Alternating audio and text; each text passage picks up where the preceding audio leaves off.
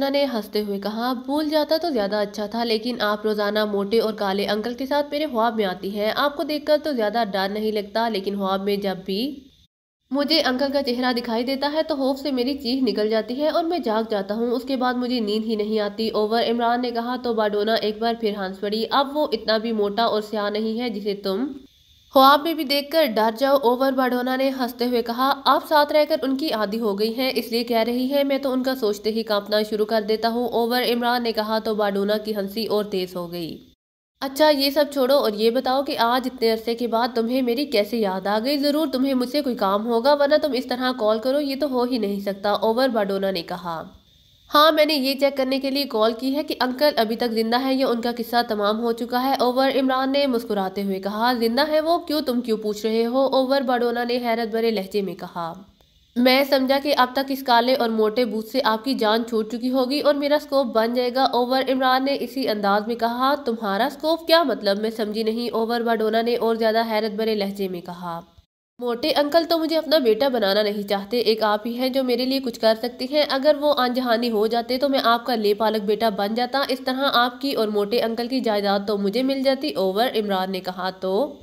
बाडोना एक बार फिर खिलखिलाकर हंस पड़ी। अच्छा तो तुम इसलिए बेटा बनना चाहते हो कि हमारी जायदाद हत्या सको? ओवर, बाडोना ने हँसी रोकर मसनू गुस्से से कहा। तो और क्या? आपकी कौन सी औलाद है? आपके आनजहानी होने के बाद कम अज़ कम मैं आप दोनों के लिए आपकी दी हुई जायदाद से हैरात तो करता रहूँगा ताकि आपकी रूहों को स्कूल मैसर आ सके। ओवर इमरान ने कहा तो बाडोना की हँसी तेज़ हो गई, तब फिर तुम्हें अभी कई सालों तक इंतज़ार करना होगा, नोटी बॉय।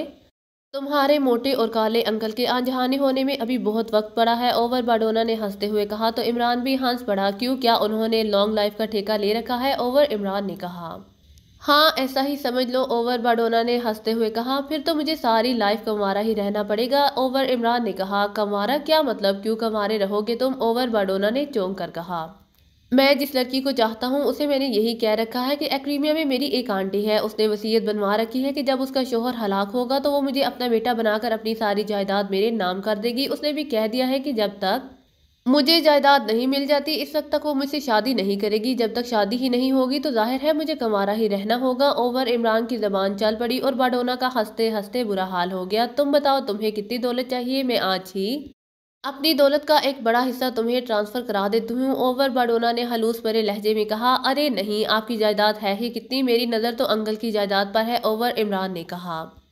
तो फिर मजबूरी है, तुम्हें वाकई उसके मरने तक कमारा ही रहना पड़ेगा, ओवर बाडोना ने कहा। अच्छा आंटी, ये बताएँ कि क्या मोटे और काले अंकल आप भी मार्शल एजेंसी के लिए काम करते हैं या उन्होंने रिटायरमेंट ले ली है? ओवर इमरान ने कहा अब आए हो, तुम असल बात की तरफ़ नोटी बॉय क्यों पूछ रहे हो? ये सब ओवर बाडोना ने हँसते हुए कहा। मैं आपको सारी बात बता देता हूँ, उम्मीद है आप अपने बेटे की बात समझ जाएँगी और मायूस नहीं करेंगी, ओवर। इमरान ने संजीदा होते हुए कहा, ओके, मैं कोशिश करूँगी कि मैं अपने बेटे को मायूस ना कर सकूँ। ओवर बाडोना ने साफ़ गोई से कहा, गुड शो, आपने कोशिश का कह दिया। अब मुझे यकीन है कि आप मेरा साथ ज़रूर देंगी, ओवर इमरान ने कहा।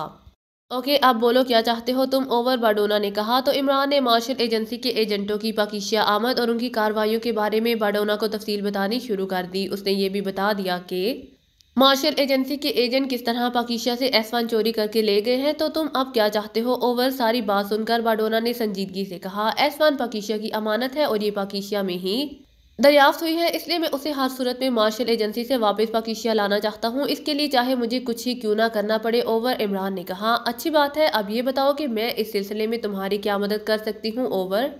बाडोना ने पूछा, आप बताएँ कि अंकल कार्लोस आप भी मार्शल एजेंसी के लिए काम कर रहे हैं या रिटायर्ड हो चुके हैं? ओवर इमरान ने पूछा, एक साल कबल उन्होंने रिटायरमेंट ले ली थी, अब वो मार्शल एजेंसी के लिए काम नहीं करते ओवर बाडोना ने कहा।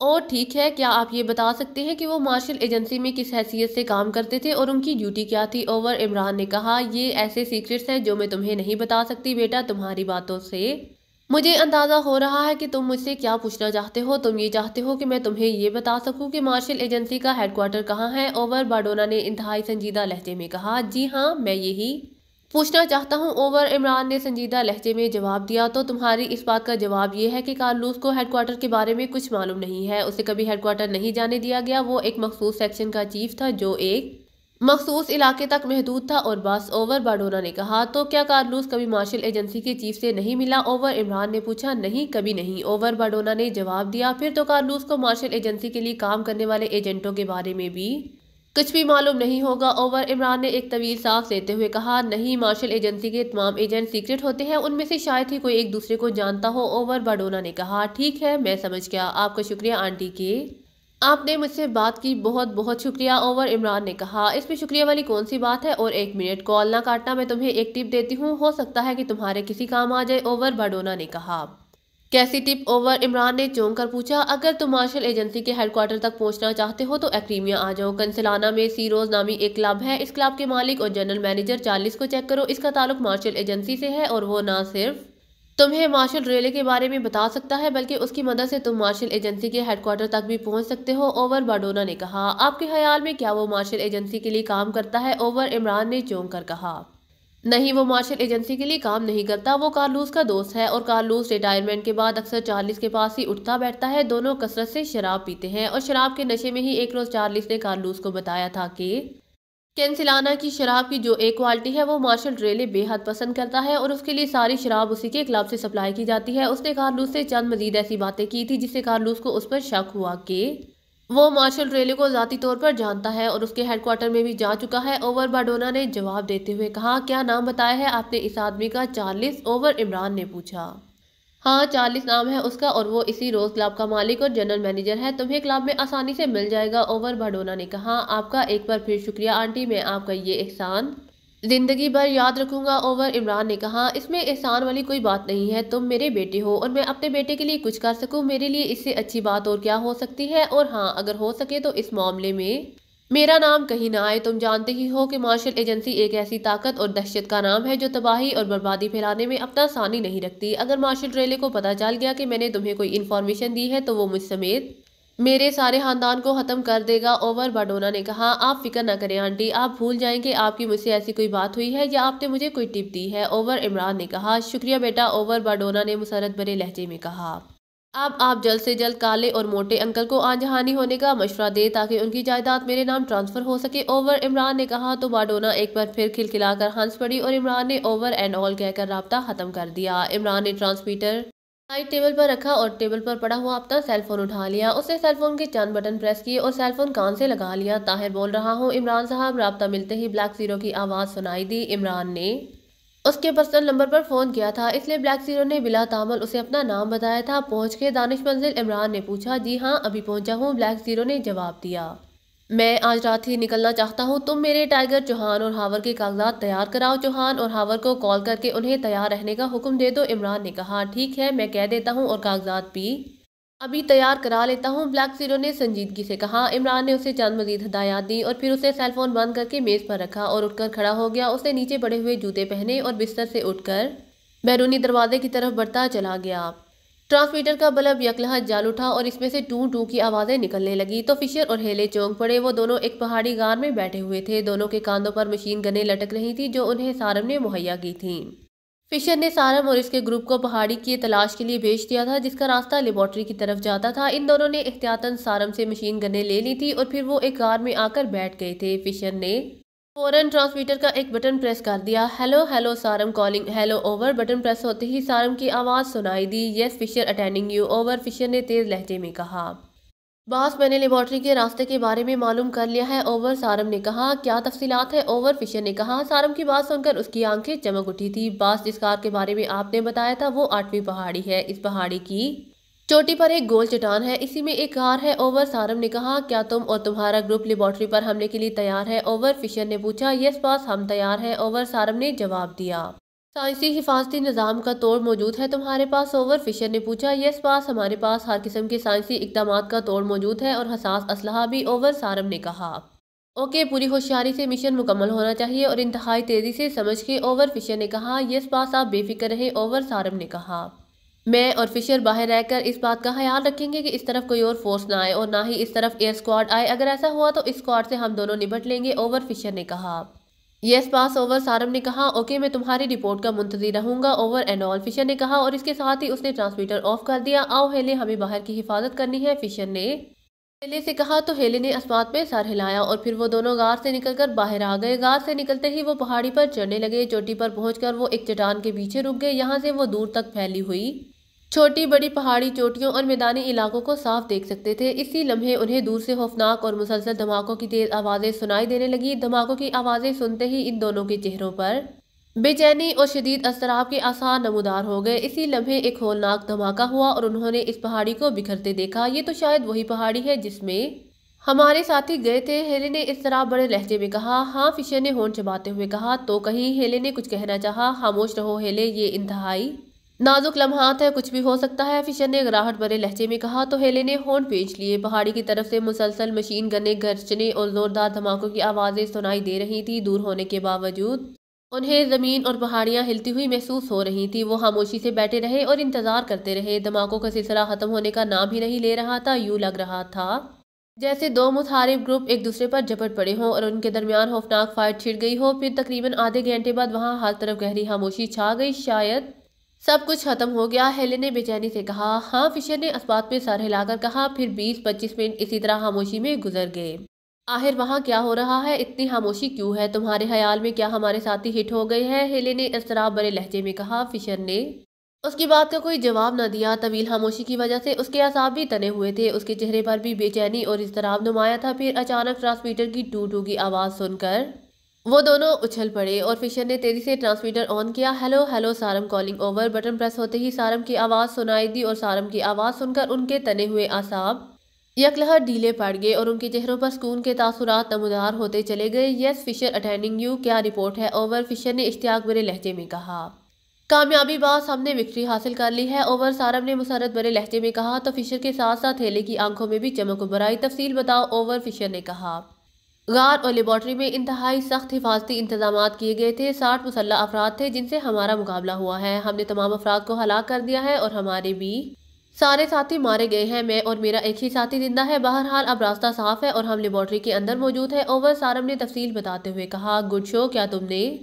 लेबॉर्ट्री के तमाम अफराद को हलाक कर दिया है। ओवर फिशर ने पूछा, यस पास लेकिन एक आदमी ज़िंदा है। ये लेबॉर्ट्री का इंचार्ज डॉक्टर एल्डस है। हमने उसे ज़िंदा छोड़ दिया है ताकि उससे पूछगिछ की जा सके ओवर सारम ने कहा, गुस्सो में भी यही चाहता था कि तुम डॉक्टर एल्डस को ज़िंदा रखो। वही एक ऐसा इंसान है जो हमें एसवान तक पहुँचा सकता है। ओवर फिशर ने कहा, आप आ जाए, मैंने डॉक्टर एल्डस को बाँध दिया है। वो इंतहाई खौफजदा है। ऐसा ना हो कि खौफ से उसकी जान ही निकल जाए, ओवर सारम ने कहा।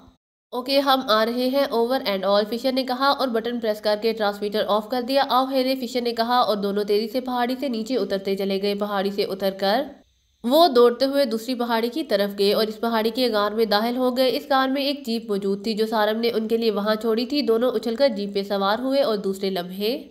जीप एक झटके से आगे बढ़ी और गार से निकलती चली गई। ड्राइविंग सीट पर फिशर था, जबकि हेले साइड सीट पर बैठ गया था। फिशर इंतहाई खतरनाक पहाड़ी इलाके में भी जीप को इस तरह दौड़ा रहा था, जैसे वो किसी सॉफ्ट ट्रैक पर जीप दौड़ा रहा हो, तेज रफ्तारी की वजह से हेले ने आँखें बंद कर ली थी, लेकिन फिशर के चेहरे पर मामूली सी भी घबराहट के तासुरात नहीं थे। जीप उछलती और दौड़ती हुई तेज़ी से एक नापुख्ता रास्ते पर उड़ी जा रही थी और फिर एक मोड़ काटते ही फिशर ने जोरदार अंदाज में ब्रेकें लगाई और जीप एक चट्टान से सिर्फ़ चंद इंच के फासले पर रुक गई और इसके साथ ही हेले ने एक तवील सांस लिया। दूसरे लम्हे फिशर छलांग लगाकर नीचे उतरा तो हेले भी नीचे आ गया और दोनों तेज़ी से दाएँ हाथ पर मौजूद पहाड़ी की तरफ़ बढ़ने लगे। पहाड़ी गार के दहाने पर आकर वो रुक गए। इसी लम्हे गार से एक लंबा तड़ंगा और कसरती जिस्म का नौजवान बाहर आया, उसके हाथ में मशीन गन थी। सारम तुम यहाँ? फिशर ने इसे देखकर चौंकते हुए कहा, यस, पास मैं आपको लेने आया हूँ, नौजवान ने कहा, जिसका नाम सारम था। ओके, चलो, फिशर ने कहा। वो तीनों गार में दाखिल हुए। गार में हर तरफ़ तबाही फैली हुई थी, ज़मीन और दीवारें उखड़ी हुई थी। आगे जाकर ये तबाही और ज़्यादा बढ़ गई थी। जगह जगह चटाने बिखरी हुई थी। वो इन चटानों को फलांगते हुए तेज़ी से आगे बढ़ते जा रहे थे। थोड़ी देर में गार आगे डलवानी होगी और वो